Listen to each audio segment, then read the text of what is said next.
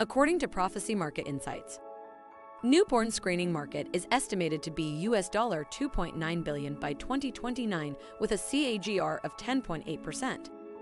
And key players are Thermo Fisher Scientific Incorporated, GE Healthcare,